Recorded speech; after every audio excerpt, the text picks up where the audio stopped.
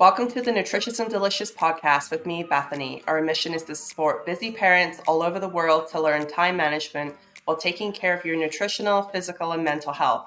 After all, a healthy family starts with a healthy parent. So I'm super excited today. I have Lesley with me here, and Lesley is an integrative women's health coach who supports her clients to know themselves and their hormones better so that they can make their lifestyle choices for the long term. She also runs an outdoor women fitness business called Wild Country Women and has a podcast series on managing self care in the sandwich years. Lesley has two children, aged 10 and 12, and supports her mother who has Alzheimer's. Her life is a juggle. She loves sharing her strategies for self care with her audience. So, welcome, Lesley.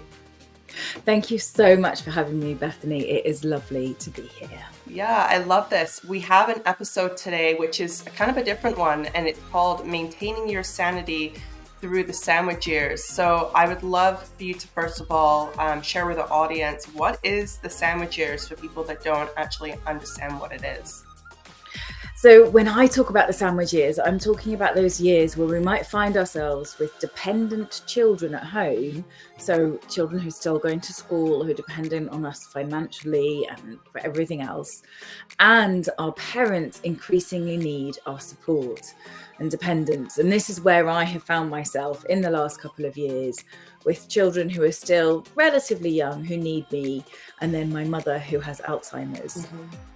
So, and I also do quite a bit of support for my mother-in-law and my my dad and my stepmother unfortunately isn't very well either. So I really sometimes feel very torn.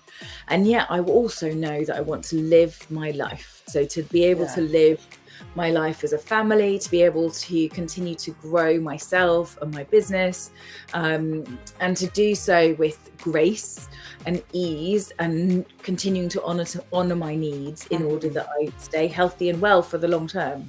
That's a lot. It's um, mm. I think it's it goes hand in hand. I think with a lot of moms out there that are kind of um, doing it all, feeling like that super person, superwoman, and I would really be interested in understanding sort of how you came into this space and helping other families, and mm. why are you so passionate about this this topic?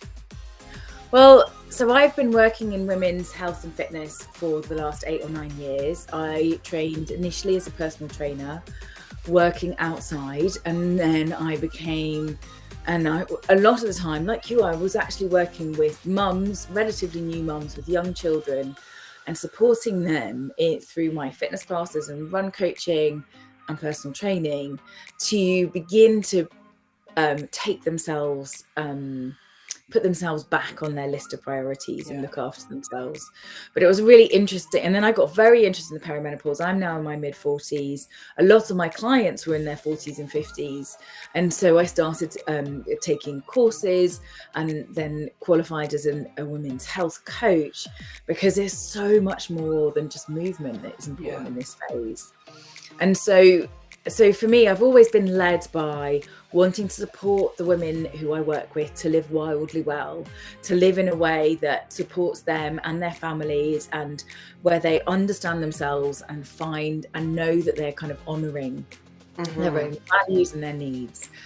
And then and and through this has also been my own journey of personal development of, of, of occasional health challenges stresses and anxiety have been things that i've had to um, you know which, which, come along uh, come along with being a parent really. Yeah. But it's been very interesting as i've gone through my 40s understanding that actually my hormones are having an impact on how resilient i am to those challenges um, to the challenges of additional stress or to sleepless sleepless nights and things like that. Mm-hmm and so and then so often I've found that i've been working with people who with women who are you know where their where their parents are um, struggling with health issues and they're having to try and they've got very dependent teenagers and the teens aren't very good at looking after themselves. No. you know? Yeah. Um, and then and then and then i kind of started going through this kind of post lock my mom was living on her own about a three hour drive away from me and lockdown was interesting because we you know obviously you weren't allowed to travel. She was on her own. And it made it very apparent by the end of that first lockdown here in the uk mm-hmm. that she was really struggling to look after herself well. Yeah. Um, and kind of remember going and visiting her and going this isn't quite right. I mean we've always joked about her losing things but actually this was kind of a step beyond and I was finding myself driving there and back in a day because you weren't allowed into people's homes, right. or I was finding myself going every weekend, and it's just a big pull on the time. So right. So we eventually she we got I got her to move a bit closer to us, and she lived with us for six months. And it's very clear that we can't do that again because the impact it had on the whole family was really it was just really hard. She loved it, but actually first, um, yeah we were constantly her anxiety is very high and we were constantly having to find things. And so so she she moved into a flat independently and then about six months later we got a diagnosis of alzheimer's which we probably knew was coming. Right.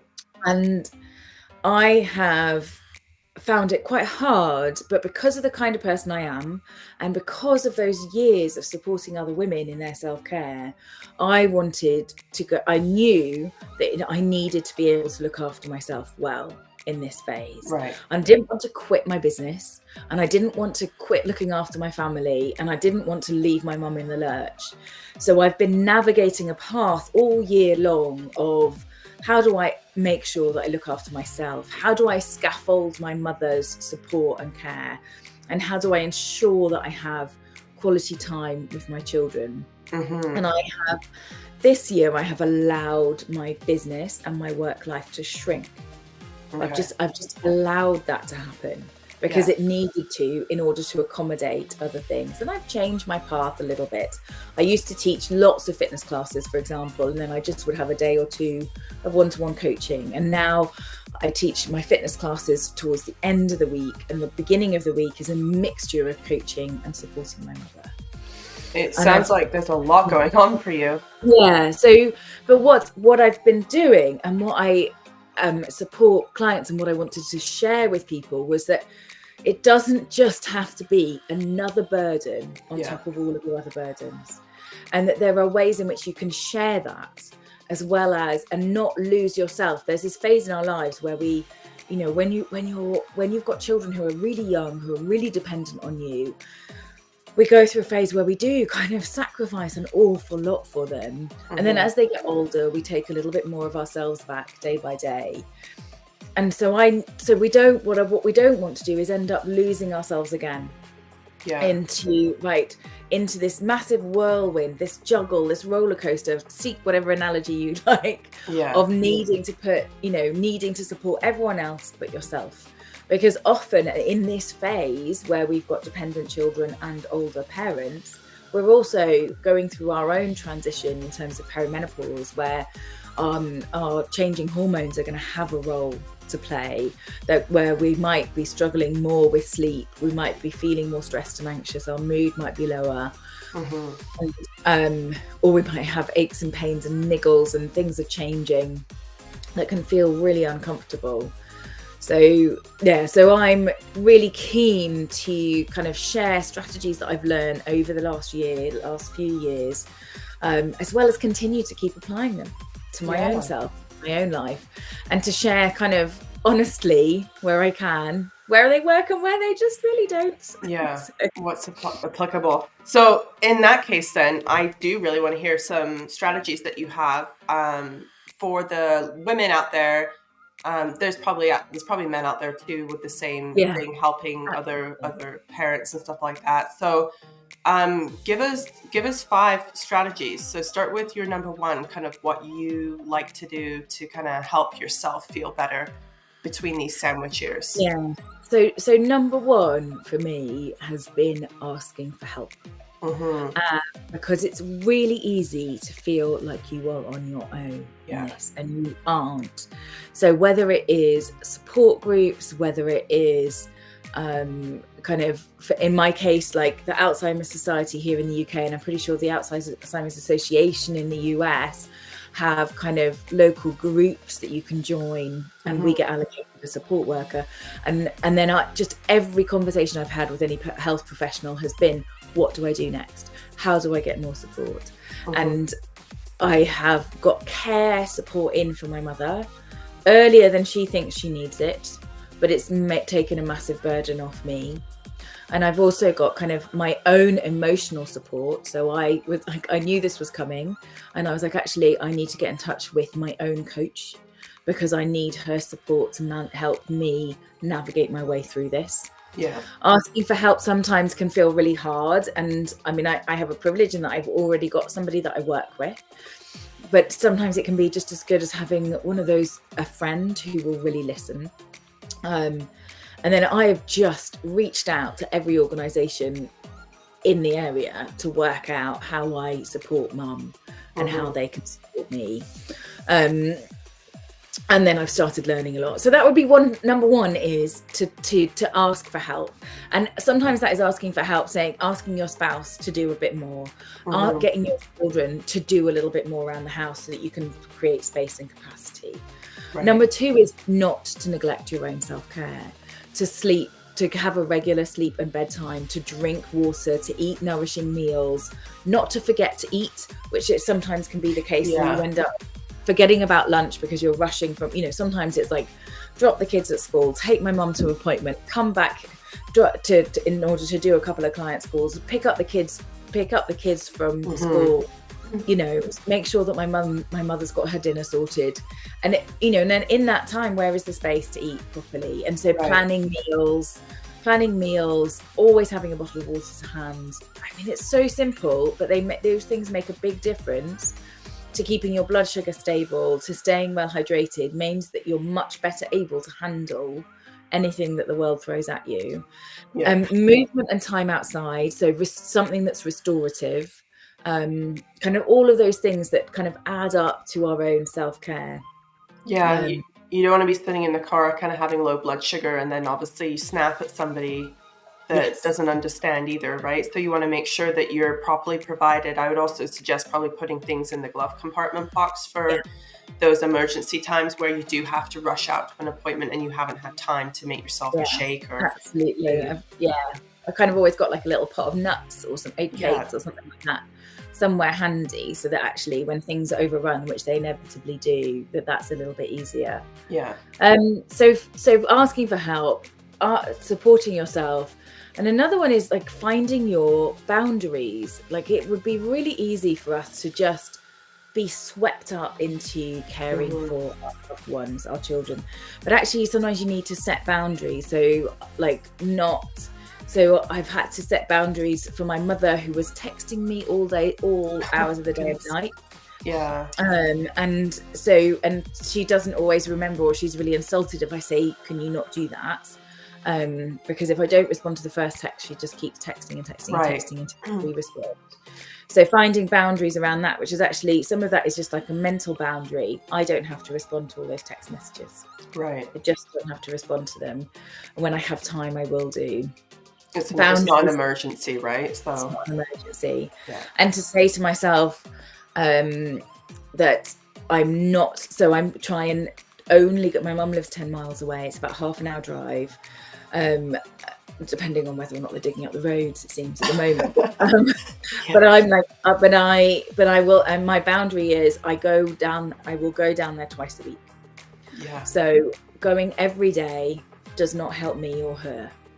So and so the boundaries are I'll go down twice a week, once the weekend, once in the week, and then the rest of the time, um, the, the you know the carers are there. Um, it yeah. took six months to get care support, six to nine months to get the care support in place. So it's kind of a privileged position to be in now. Um, how, how come it takes so long to get um, somebody involved? Is it just the research of finding it's partly the research. It's actually here we've got a massive shortage of people working in care. Oh, okay, interesting. Um, which is which is partly partly related to um, partly related to Brexit. Um, so Britain has Britain leaving the EU now right. makes it harder for um, companies like that to recruit oh, European care workers. Okay. It's not traditionally a terribly well paid industry Right. and through lockdown obviously a lot of that changed and got harder. Um so yeah so people are leaving the care industry because they're finding there's a job there's a um job shortage in other easier ways to Yeah. work. So i just i ended up on a waiting list. I ended up on a waiting list for a care agency for it must have been close to six months. And then the other ones i found so i've got two different kinds of care going in. And the other ones i found through um i take my mum to something called a memory cafe and there's a care group. So this has been my reaching out for support and asking for help.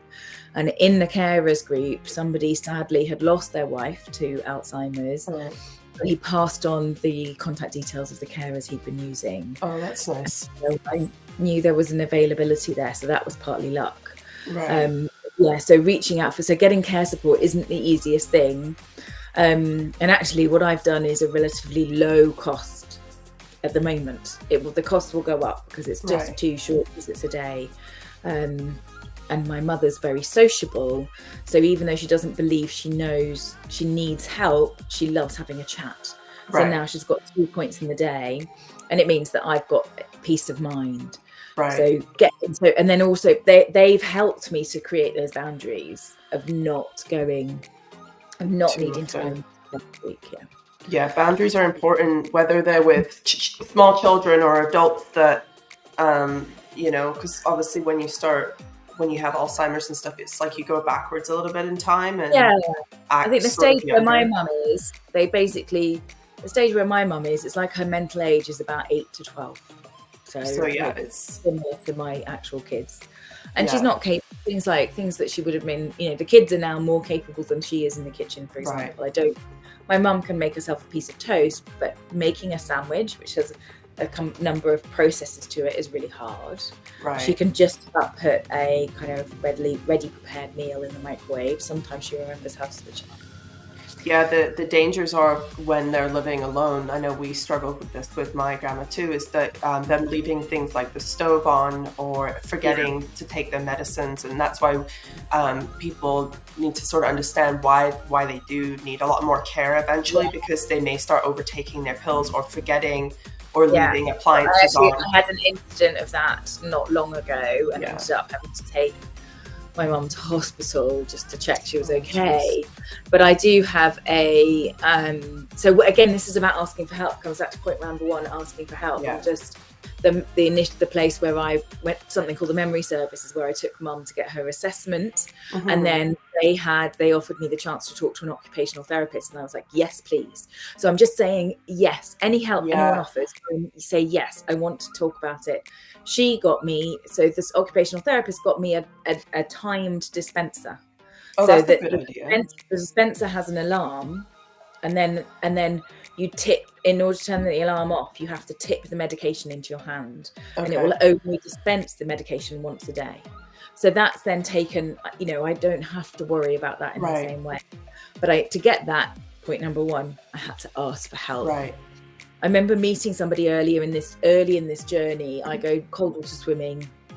There's a lovely marine lake, and I remember meeting somebody early in this journey, and I was just standing by the. Where I go swimming, everyone just chats. It's really friendly. There's you have to be a particular kind of person to swim through the winter, Yeah. which which uh, bear in mind the winter is not as cold. in- no, not in like it is here in Canada. than it is. It's called it the in polar freeze or something. yeah, no, the, the water would probably freeze there. Um, so, and I remember talking to somebody, and she'd actually just lost her father to Alzheimer's. So, and she'd been his care support person th- over the for, throughout his illness. And her advice to me was, ask for all the support that you can get Yeah. and downplay your role to any of the official agencies so that because that if they think if if the agencies and it might be different in the states and canada i don't know Yeah. but if they think that you've got support then they won't offer if they think that individual has got enough support then they won't offer anything else right. now i have, I have to pay for the support anyway but i just have to keep asking and asking and it makes a massive difference to that I would imagine the government and stuff would probably think a lot of this would rely on children, like um, the generations before, and it's almost like, Yeah. well, you guys can do it, but again, like you said, you've still got jobs you could be a single parent trying to do this and also raising your children. So that's a lot. That's a lot between you know raising your own children and almost having a, a parent yeah. starting to act like another child where you don't want to leave them sort of alone and you need to kind of find those those mm. things but that's great you found a lot of these different resources yeah. i think that's really helpful and, um, and it, um, but it's part of my it's like i felt like a, every now and then i felt like i was losing my mind. Yeah. And so i'm like i cannot go down that hole. So i will go and find the steps to to climb back out of it again even if right. i can't get all the way to the top. And that, that's another thing is i had to reassess and this is what, reassess what is important to you right? Yeah. like i have a tendency to just volunteer to do things um, to help out with things at school to support my friends to right. um, you know to cook for people to do this and that and i've had to just reassess that to go through a process and it's something i've always done with my clients anyway yeah like an exercise I call What's on Your Plate. And sometimes I actually give them a paper plate to write on all of the responsibilities that you've got. And then you work out what can I, you know, what gives me joy, because joy is important, right. and what doesn't have to be on there anymore. So reassessing what is top of the list of things for you to do and to ensure that you're looking up that one of those is the things that you do for your own self-care so jumping yeah. in cold water, for example, is one of mine. Shock therapy. There you go. Shock therapy. Yeah. Well, to, yeah. Cold water swimming and walks in the woods are part of how I create space and time for myself. So that's very um, rejuvenating for a lot of people. I find nature seems to be yeah. one where you can step away for the day. I know myself included as well. We have the mountains here, so um, hiking. Yeah, hiking in the summer. I took my boys hiking quite a bit, and that was mm. really therapeutic. Um, and educational, I'd say, for them as well. Yeah. Um, and then in the winter, we do quite a bit of snow walks, I guess. We haven't done yeah. snowshoeing yet, but we do a lot of activities outside. Mm. And I think it's important because you can get really cooped up at home, yeah. especially in the winter. I know, obviously, during COVID, a lot of people were feeling cooped up. So even just getting outside for a quick walk, if you can, in nature around some trees or a body of water, if you can. Um, is there anything else that you have as, as tools? Um, so, well, just to go back to nature is really helpful. But one of the key things is to find ways to take time off, completely yeah. off. And that's not, that's easier said than done. And sometimes it requires quite a bit of forward planning. But I, so my mother goes and stays with my sister who lives in Ireland. Okay. So we have to find ways of getting her to travel there which now means one or my, either my sister or I have to go back and forth because she can't travel on her own. Right.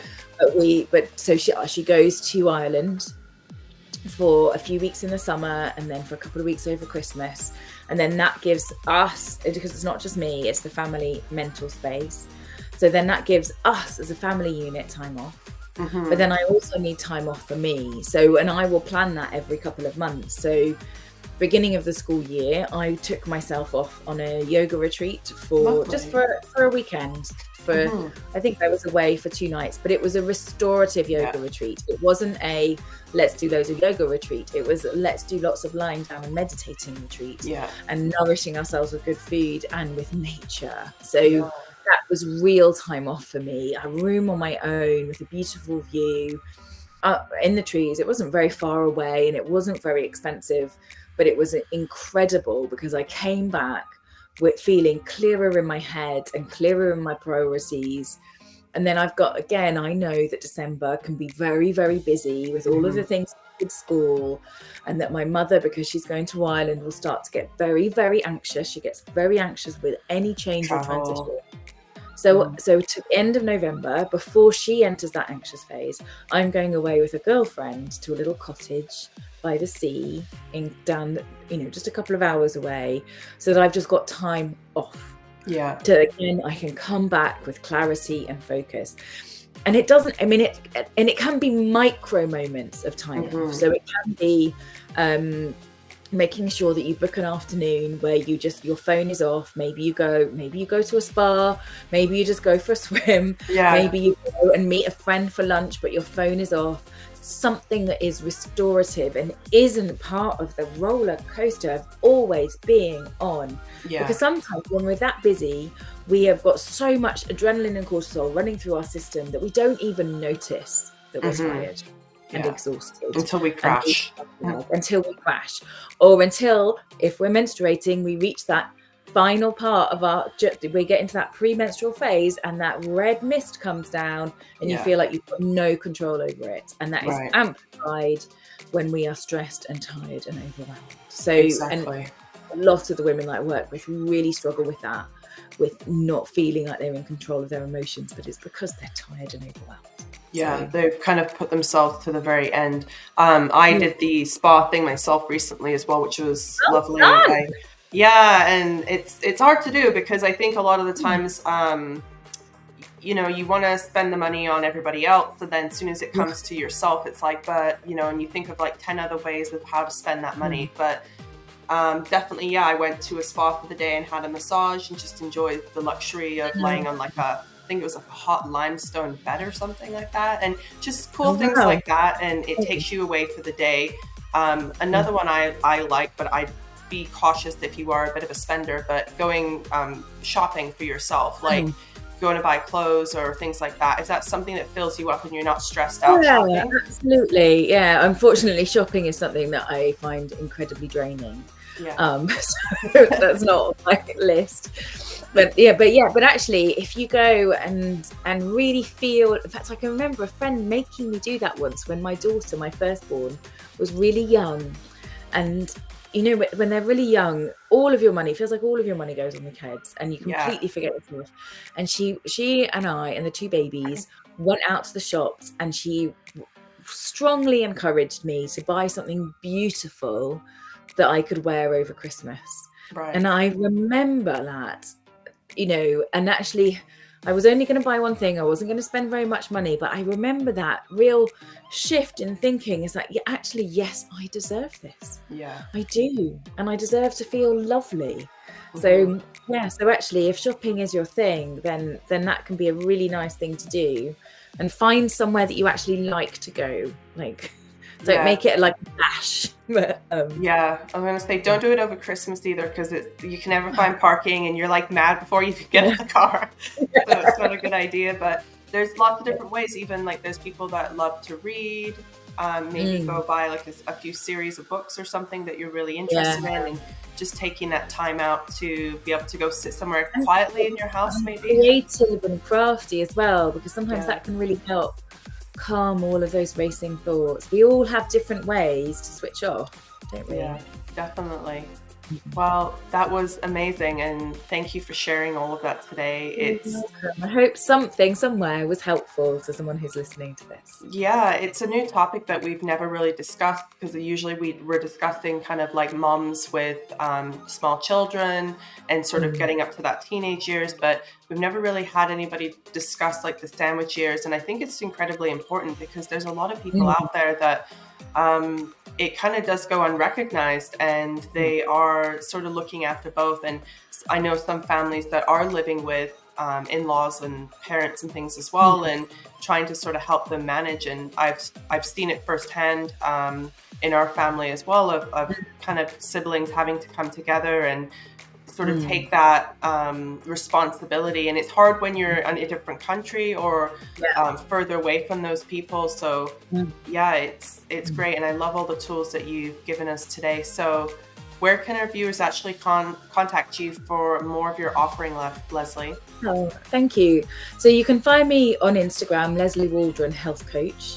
Lesley is with an EY, which I think quite often in the, spelled differently in the US. Um, and then for my fitness, it's wildcountrywoman.com. Um, or um, or you can find me on LinkedIn um, as well. So and it's Wild Country Woman on Facebook. And I have um, coming up, so kind of launching in December, we will be running. I'm running with someone else who is equally sandwiched as me, a series of um, self care in the sandwich years podcast. So we will. I'll let you know the details as and when those are available. Lovely. Thanks so much, Lesley. It was a pleasure having you on today. Well, thank you so much for having me. It's been an absolute pleasure, and I hope that your audience find this useful. Mm -hmm.